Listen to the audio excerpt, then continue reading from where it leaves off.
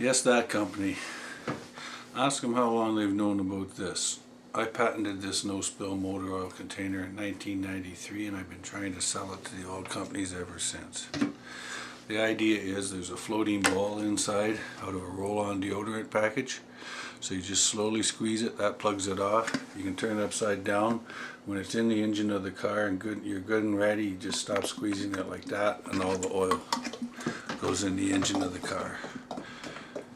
It's that simple. If you want to get a hold of me, check out my YouTube video, Oil Spill Eliminator. Thanks a lot. Have a nice day.